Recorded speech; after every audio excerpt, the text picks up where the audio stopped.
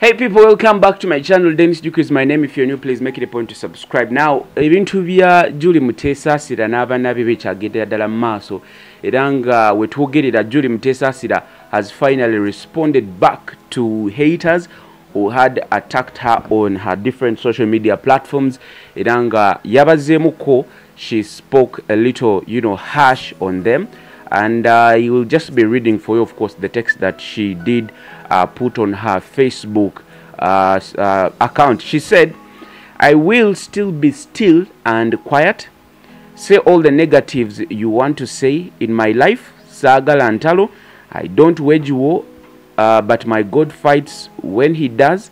It's pressed down, uh, shaken together, and runs over. Put me down if it makes you feel good. Say all you want to me or to about me, but please let my children be out of all the evil you speak because they are innocent. Don't be a witch, but bless them. Yes, she has finally responded.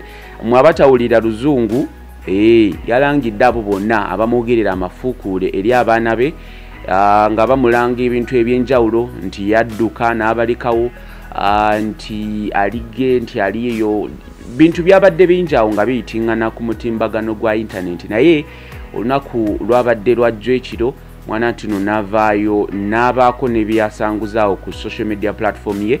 So i think we, ne- we now need to give her a break because she said she will still be quiet and still she won't attack anybody but she only wants her peace with her children. So I think we need to give her some uh, a break, some some sort of a break, eh, because there's quite a lot that is that has been happening or going on in her life, so she deserves it. Nonetheless, this is what I had for you today. Keep subscribing.